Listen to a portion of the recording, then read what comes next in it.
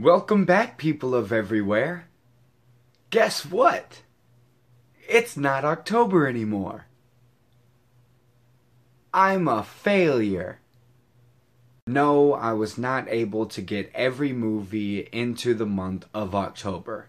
If I've learned anything from this, it's that I need to better schedule my reviews and not pick a franchise with so many damn movies in it. But we will continue our way through the franchise because I just gotta get through this thing. We are now at Friday the 13th, Part 7 New Blood. In Part 7, we get a girl named Tina who has miraculous telepathic powers, and she blames herself for the death of her father when she was a child, mostly because it is her fault. But now, at 17 years old, her mother brings her back to the site of the accident, along with her doctor who has apparently been helping her in a mental hospital. But thinking that she's reaching out to her father with her psychic powers, she accidentally awakens Jason, who has been under the lake all of this time ever since Tommy Jarvis trapped him there. First, bad acting. Everywhere people are either overacting, underacting, or plainly badly acting. There are characters that are introduced simply to kill them off. I usually don't mind when this happens, especially when the kills are good. But they're not. I know I said in the last review that the kills in that, while they weren't plainly shown, were still good because the After Effects makeup looked good and the movie itself was enjoyable.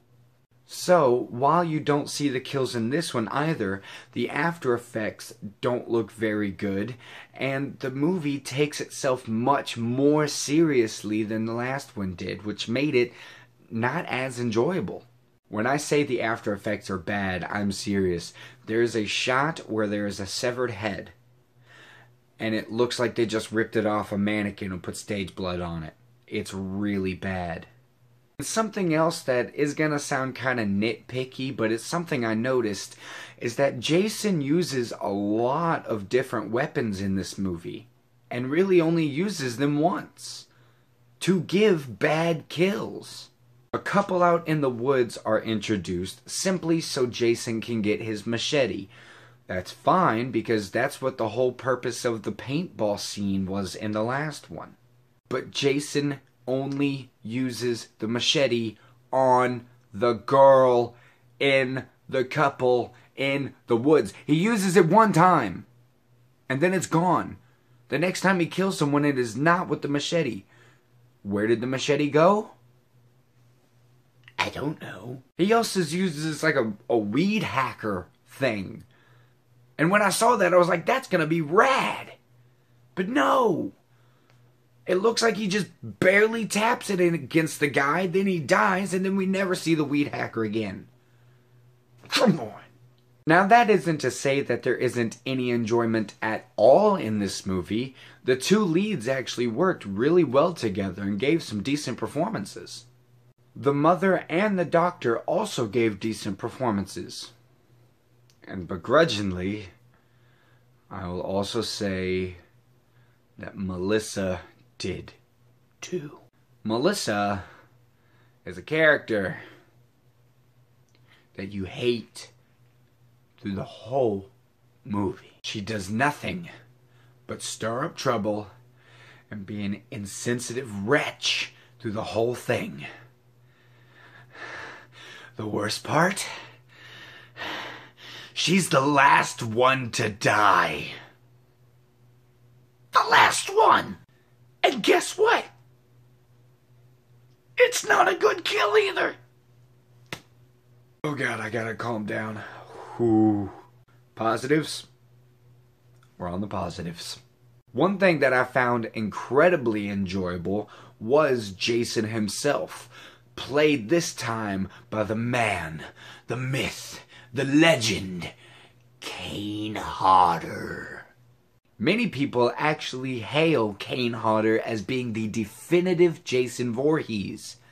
And I will say, He's the only one whose name I can remember. But he does just give this presence to Jason. It's really hard to explain. You just kind of have to see it. He's more menacing than the others, I think. Something else that really benefits his performance is that he is a stuntman.